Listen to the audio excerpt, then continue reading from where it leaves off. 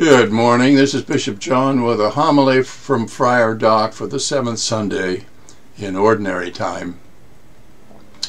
The Old Testament reading this morning is taken from the first book of Samuel in chapter 26, verses 2, and then 7 and 9, 12 and 13, and 12, 22 and 23.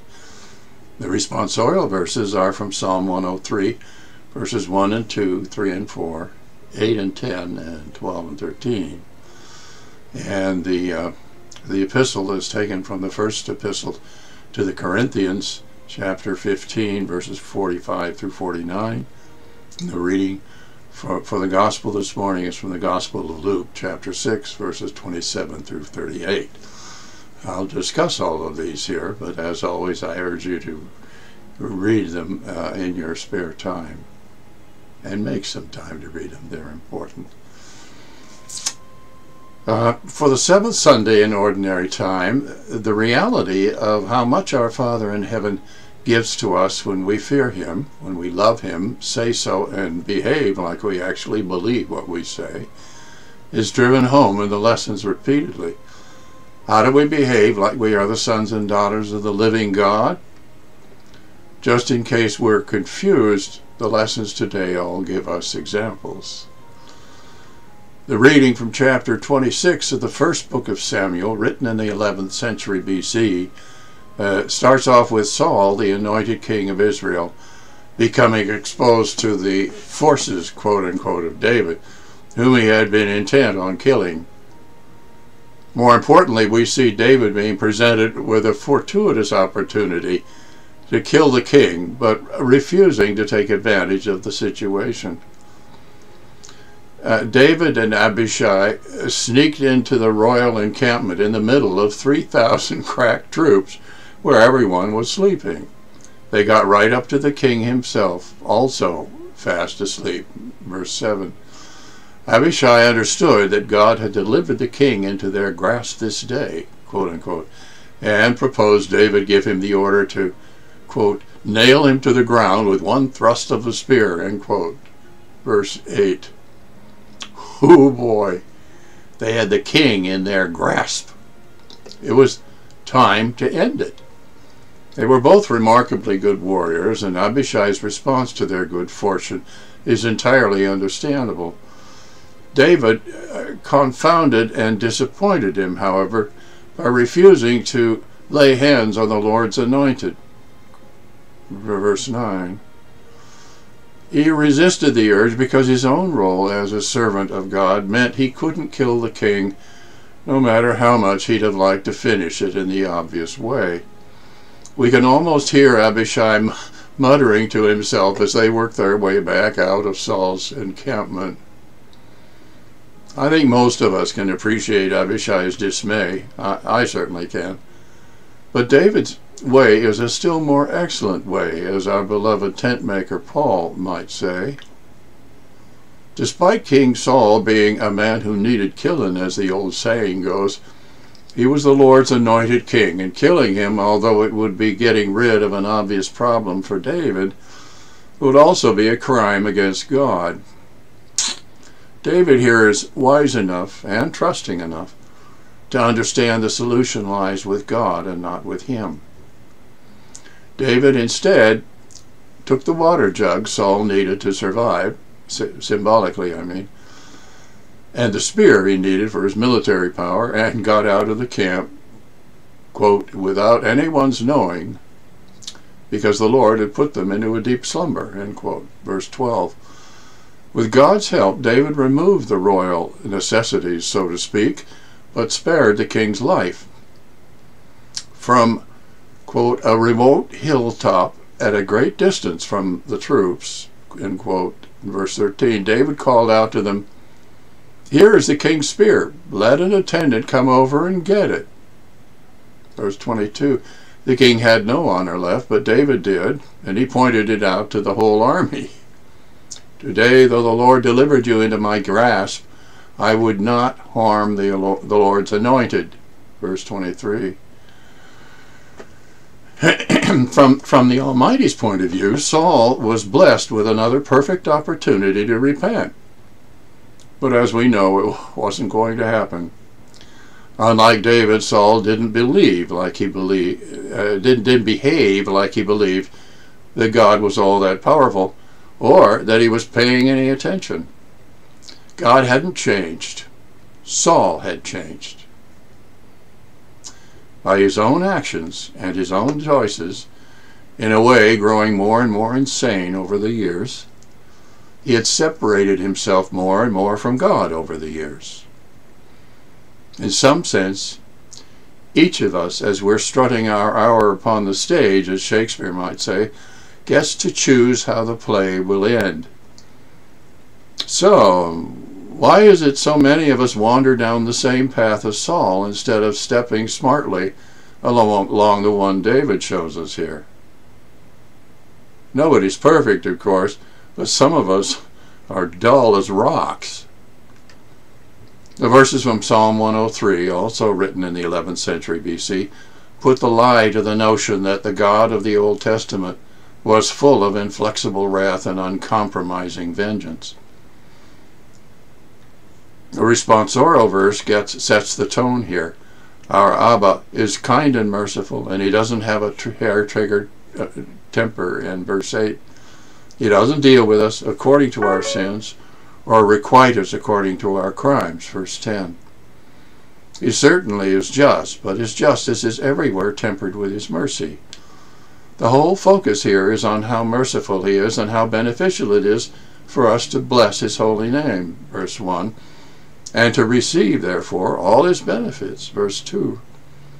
He pardons our sins and heals our ills, verse 3. He saves us from destruction and even crowns us with kindness and compassion, verse 4.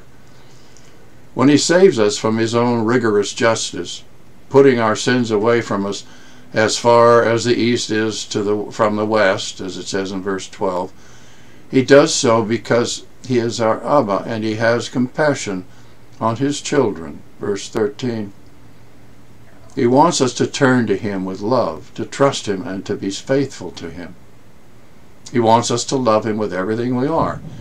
That is, with all our hearts, our minds, and our strength, as it is written in the uh, famous Shema, Deuteronomy 6.5.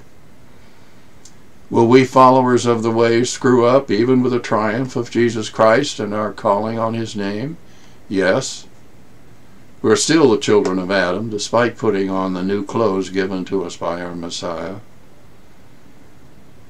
Will our egos get in the way so that we don't hear our Abba's still small voice or see his finger moving in the world around us?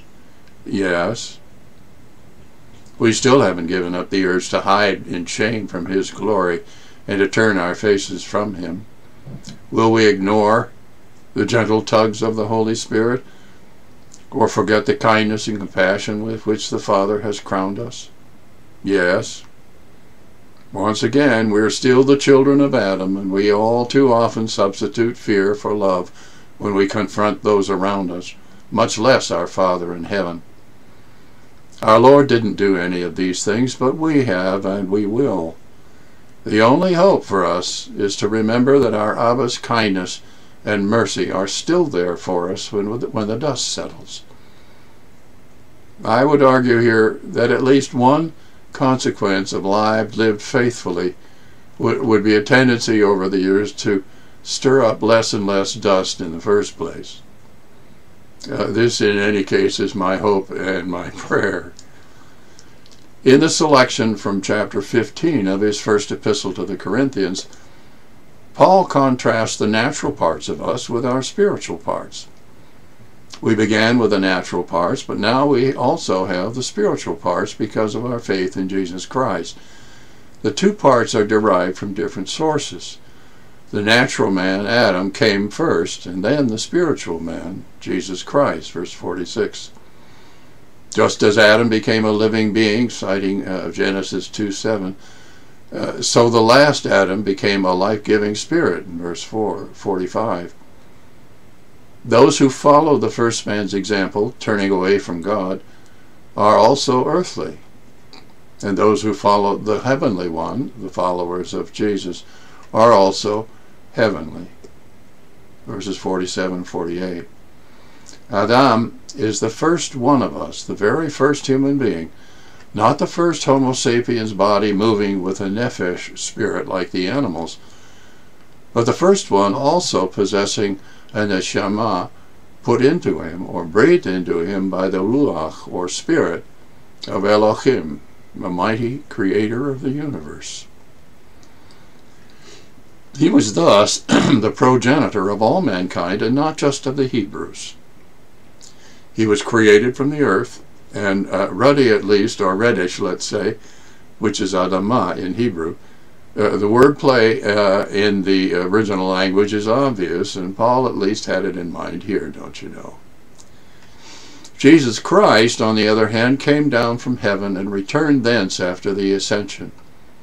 Paul maintains we followers of the way have borne the image of the earthly one, but now tread a different path, following our Master and trusting our lives to God, so we shall also bear the image of the heavenly one. Verse 49. We are adopted, certainly, but we are heirs through Jesus Christ of the kingdom of heaven. That is, we shall finally, fully become the sons and daughters of our Abba. We are still created from the dust of the earth, as it were, but now with the bright stars of God's divine love for us dancing before our eyes and lighting up our hearts. How can we not delight in this incredible gospel, this unbelievable good news, and share it with as many as we can? Jesus tells us in the verses from chapter 6 of the Gospel of Luke how and with whom we should share our property and to whom we should extend our love and express our kindness. To those of us who think in terms of my stuff, my time, and my life, they are difficult commandments. Jesus tells us they are instead all gifts from our Abba and not ours.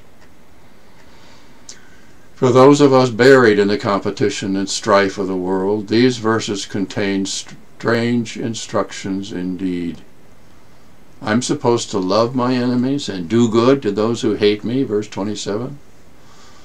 I'm supposed to bless those who curse me and pray for those who mistreat me, verse 28. I'm supposed to open myself up to one who imposes on me, verse 29.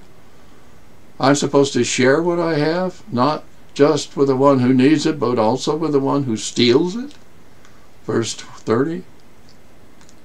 Really? This is hard stuff. Maintaining a civil tongue in my head is easy when I'm interacting with civil people. But it ain't so easy when I'm dealing with an insensitive clod who thinks such behavior is a waste of time. And it's even worse with an ignorant, arrogant buffoon who thinks I'm a servant and should act like it. I know my master is asking me to go the extra mile here but it sure seems like it's a lot further than just a mile. Despite all the years of reflections, meditations, and prayers, for instance, I still don't handle conflict, or especially bullies, very well. And people who like manipulating other people still make my blood boil. Even in this small way, I'm not following much of the commandments, am I? Right in the middle of the verses is the golden rule. Do unto others as you would have them do unto you, verse 31. Our Lord's listeners had long been familiar with the silver rule, that is, don't do to others what you don't want done to you. But these new words kind of turn things around. Rather than refraining from acting, we're called to act. Do we know what we would like, others would like? We don't, actually. So to be safe, we may tiptoe around a little to figure out, uh, figure things out before jumping in with both feet. In any case, we should surround all this with prayer and trust Jesus to help us out. It's funny how insights for the right thing to do can pop into your head while you're praying now, isn't it? This is really about listening quietly to Jesus and opening our hearts to our Abba's love and compassion. The consequence in our lives has to be the passing, uh, passing the love we receive from Him on to those around us. Everything we have is from God.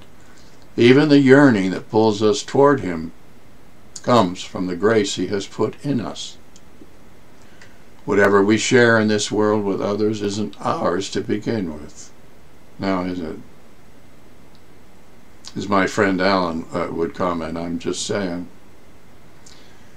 If we only take care of our friends and loved ones, how is that any different than what most people do around the world? Verses 32, 33, and 34. It isn't different at all. It isn't karma that has blessed us with whatever health, wealth, and happiness we have. It is our Abba who has done that. The same way we know we can turn to Him for mercy and kindness, just so should those around us know they can turn to us for mercy and kindness.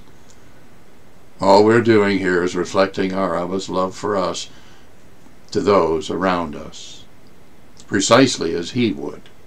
Verse 36. We should also uh, get out of the condemnation business and leave that for God, uh, because what goes around comes around. Uh, verse 37, uh, liberally translated. This is how it is. Not always easy, and certainly disappointing to my sophomoric sense of justice, justice and retribution. But there you go. As followers of the way, turning to our Abba, trusting Him, and acting like we uh, we love Him means seeing Jesus Christ in the faces of those around us and responding with love, compassion, kindness, and mercy even when someone's being a jerk. If we see each other as vessels of God's presence, we can develop a perspective with a kind of affection and regard that makes following the golden rule more of a possibility for us in verse 35.